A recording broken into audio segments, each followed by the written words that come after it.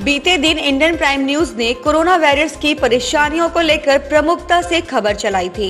Indian prime news में खबर के चलने के बाद कुंभकर्णीय नींद सो रहा जिला प्रशासन हरकत में आया और बछरावा के एलवन क्वारंटाइन सेंटर में संक्रमित मरीजों का इलाज कर रहे चिकित्सकों को बछरावा कस्बा स्थित गीतांजलि मैरिज हॉल में शिफ्ट कर दिया गया।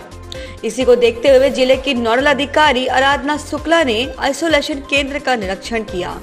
तथा कोरोना योद्धा, विशेषकर डॉक्टर व पैरामेडिकल स्टाफ को रहने वाले गीतांजलि गेस्ट हाउस का भी निरीक्षण किया। चिकित्सकों व स्टाफ से मिलकर उनके रहने, बेहतर खान पान पानी, बिजली आदि व्यवस्थाओं की जानकारी भी ली। नोडल अधिकारी आराधना शुक्ला ने मौके पर पहुंचकर आइसोलेशन केंद्र की खामियों को देखा तथा साथ ही बछरावा स्थित गीतांजलि गेस्ट हाउस में शिफ्ट किए गए कोरोना योद्धाओं से बातचीत की। और हर प्रकार की व्यवस्था उपलब्ध कराने का भरोसा दिया, जिसके बाद सभी कोरोना योद्धा संतुष्ट हुए।